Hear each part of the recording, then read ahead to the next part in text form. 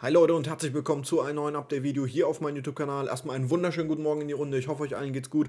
Ihr seid alle gut in den Tag gestartet. Momentan traden wir bei ungefähr 43.250 US-Dollar. Sieht momentan nicht mehr so gut aus. Kommen wir aber gleich dazu. Erstmal vielen Dank gestern wieder für den geilen Livestream. Ich hoffe, es hat euch äh, allen gefallen.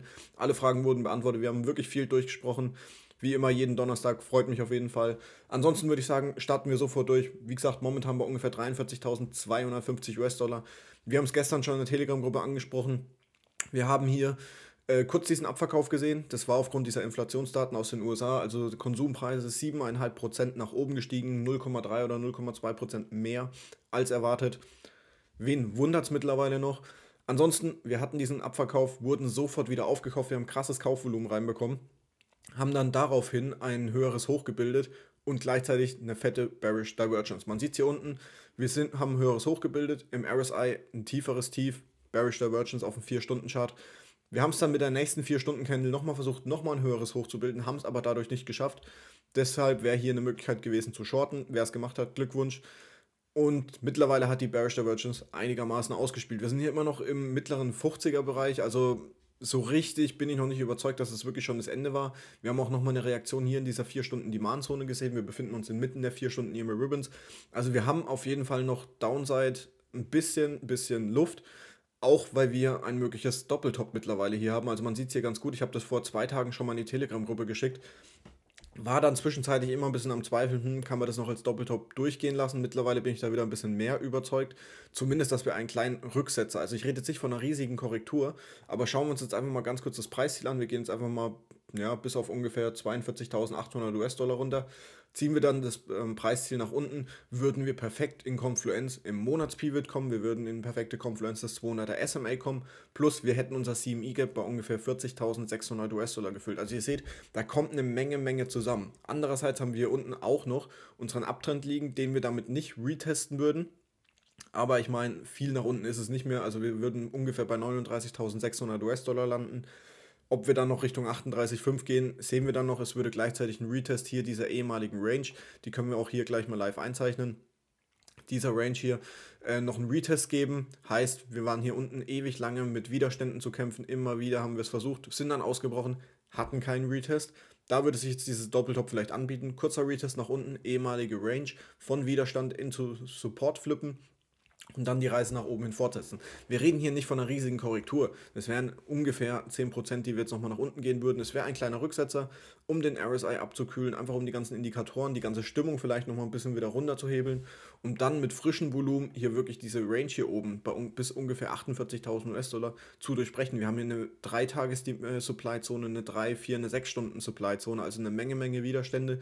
Da würde sich dieses Doppeltop möglicherweise anbahnen, beziehungsweise ganz gut tun, auch übers Wochenende, dass wir dann nach unten gehen, das alte CME-Gap füllen, eins nach oben hin offen lassen, um damit Schwung in der Kiste ein Reversal nach oben hin zu schaffen. Also das ist jetzt so momentan den Weg, den ich ähm, sehe oder für möglich auf jeden Fall erhalte. Wer in einer Short-Position drin ist, sollte auf jeden Fall äh, den größten Teil hier spätestens bei 42.000, 42.100 rausnehmen und dann nach unten hin einfach weiterlaufen lassen, weil ich werde versuchen, oder ist mein Plan, mir wahrscheinlich hier unten dann eine Long-Position langsam aber sicher aufzubauen, nicht mit einem großen Hebel, 2, 3er Hebel maximal und dann so zu gucken, wie ist die Gegenreaktion, wie geht es weiter. Auf jeden Fall wäre das relativ gesund, ein guter Gameplan, sage ich mal, fürs Wochenende. Kleines Doppeltop nach unten Richtung 40k bis 38,5. Wegen diesem Monatspivot 200er SMA, also da ist eine Menge Confluence. Das es da unten auch noch. Also die Kurse gehen dahin, wo die meiste Liquidität ist und die würde da unten auf jeden Fall liegen. Gut, schauen wir uns Ethereum an. Ethereum sieht das ganze Bild nochmal ein bisschen besser aus, sage ich mal, aber wir sehen deutliche Confluence bzw. Äh, Korrelation zwischen Bitcoin und Ethereum. Wir haben auch hier eine Bearish Divergence gebildet. Man sieht hier höheres Hoch, tieferes Tief, Bearish Divergence im 4-Stunden-Chart, die mittlerweile ausgespielt hat. Hier bin ich aber ehrlich gesagt nicht so überzeugt, dass das hier wirklich ein Doppeltop ist. Also wir können sagen, okay, hier dieses kleine, dann hätten wir das Preisziel schon erreicht. Wir hatten jetzt eine Reaktion hier unten aus diesem kleineren Key-Level, aus dieser 4-Stunden-Demand-Zone. Wir haben die 4 Stunden EMA Ribbons angetestet. Wir sind knapp vorm ähm, Abtrend, sind wir gescheitert. Also sage ich mal, wir, sind, wir haben keinen neuen Retest gesehen, was eigentlich wünschenswert gewesen wäre hier unten. Einfach nochmal antesten und dann nach oben. Das war ja das, wo ich euch schon vor ein paar Tagen gesagt habe. Dieser Bereich ist extrem interessant. Ansonsten sollten wir jetzt bei Bitcoin nochmal eine Korrektur von ungefähr 10% sehen, was ja jetzt im Rahmen ist, was wir ja gerade besprochen haben. Halte ich es gut für möglich, dass wir zumindest hier diesen Bereich zwischen 2700 und ungefähr 2600 US-Dollar sehen. Würde bei Ethereum auch ungefähr 10%, 10, 12% ungefähr bedeuten. Nicht so abwegig, Bitcoin 10%, Ethereum 12, 13% vielleicht, ist nicht abwegig, dass wir die Korrektur sehen. Hier unten in das Golden Pocket rein von dieser gesamten Aufwärtsbewegung, sage ich mal. Upp, ist nicht richtig gezogen, bevor ich euch hier was Falsches sage. Von dieser gesamten Aufwärtsbewegung bis ungefähr 2600 US-Dollar würde passen. Klar, wir würden den Abtrend brechen. Wir würden aber eine ehemalige Range bzw. das Golden Pocket als Support bestätigen hier und dann übers Wochenende bzw. mit dem Start in die neue Woche wirklich mal ein bullisches Reversal schaffen.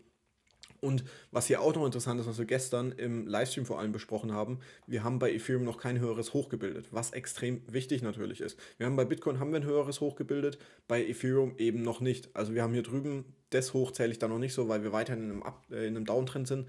Das Hoch hier drüben ist für mich interessanter, wenn nicht sogar das hier, bis ungefähr 3460 US-Dollar. Das ist wichtig, dass wir rausnehmen, Retest möglicherweise sehen, höheres Tief dann auch noch bilden und dann bin ich absolut bullish auch bei Ethereum. Gut, schauen wir uns Cardano an. Cardano hat es auch nicht geschafft hier. Wir haben ja gestern das Szenario besprochen. Wünschenswert wäre ein Szenario über den Monat Pivot. Haben wir nicht geschafft. Wir haben äh, Downside gesehen, sind auch wieder unter unsere blaue äh, horizontale Supportlinie gefallen. Auch kein gutes Zeichen. Die 4 Stunden E-Mail Ribbons werden jetzt gerade von unten angetestet und der 200er SMA wurde auch durchbrochen mit dem 200er E-Mail. Also auch keine wirklich guten Zeichen hier, was wir momentan bei Cardano sehen.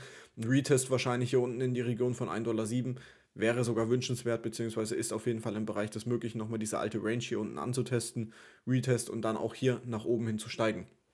Gut, schauen wir uns noch, wo haben wir denn? Solana war nämlich gestern auch Thema im Livestream. Hier hatten wir ähm, ein Head and Shoulders gesehen, beziehungsweise hat jemand aus der Community das Head and Shoulders gesehen, haben wir dann eingezeichnet. Äh, Habe ich euch auch gestern im Livestream gesagt, okay, Head and Shoulders absolut valide. Wir haben abfallendes Volumen mit dem Head and Shoulders. Wir wurden rejected am 200er SMA plus 200er EMA. Preisziel wäre hier unten in diesem Bereich bei ungefähr 99 US-Dollar. Ich habe aber dazu gesagt, hey, beachtet auf jeden Fall diesen Abtrend. Preisziel hat 1 zu 1 getroffen. Ich habe gesagt, okay, beachtet diesen Abtrend, nehmt hier auf jeden Fall den größten Teil raus, dann äh, spätestens Stop-Loss-Entry sein und perfekt eingetroffen, als wir das mitgenommen hat. Herzlichen Glückwunsch gestern aus dem Stream. Ansonsten, Möglichkeit ist auf jeden Fall hier unten, dass wir noch in diesem Bereich bei ungefähr 99 US-Dollar fallen, 99 bis ungefähr 96 US-Dollar, weil hier viel Confluence ist. Einerseits durch die 4-Stunden-Demand-Zone und andererseits, weil wir hier drüben immer wieder Widerstand hatten, wo wir dann ausgebrochen sind und erneut als Support bestätigt haben. Gut, dann, was war gestern noch im Stream? Ähm, Matic war auch noch so ein Coin, wo wir gesagt haben, okay, hm, gefällt mir jetzt ehrlich gesagt auch nicht so gut. Wir hatten hier diesen Abtrend, den wir auch als Support bestätigt haben. Was wir aber auch hier haben, war nämlich dieses Doppeltop. Das haben wir gestern auch besprochen. Wir sind nicht nachhaltig drüber gekommen. Preisziel wäre perfekt hier unten dieser kleinere Abtrend, beziehungsweise übergeordnet. Das war hier der kleinere Abtrend. Übergeordnet ist dieser Abtrend interessant. Das heißt, das Preisziel würde dafür sprechen, dass wir hier nochmal den Bereich von ungefähr 1,61 Dollar hm, rumsehen und dann hier vielleicht einen doppelten Boden und dann nach oben hin ausbrechen. Das äh, beachte ich jetzt auf jeden Fall bei Matic. Schauen wir uns noch Sand an. Sand, gleiches Spiel. Wir haben den Abtrend. Auch hier mögliches Doppeltop. Wir haben ein höheres Hoch gebildet. Bearish Divergence auf dem 4-Stunden-Chart, abfallendes Volumen, deutet eher darauf hin, dass wir ein kleines Reversal zumindest nach unten hin sehen. Spricht natürlich auch das gleiche wie bei Bitcoin. Also ich wäre da momentan ein bisschen vorsichtig, irgendwelche Long-Positionen aufzubauen. Wir haben unsichere Marktlage auch aus den USA. Mit äh, Börsen sind gestern auch äh, hoch runtergegangen und alles wegen den Inflationsdaten, Arbeitsmarktdaten. Entweder ich weiß nicht, ob sie schon draußen sind oder kommen heute auch noch. Also behaltet das alle mal ein bisschen im Blick.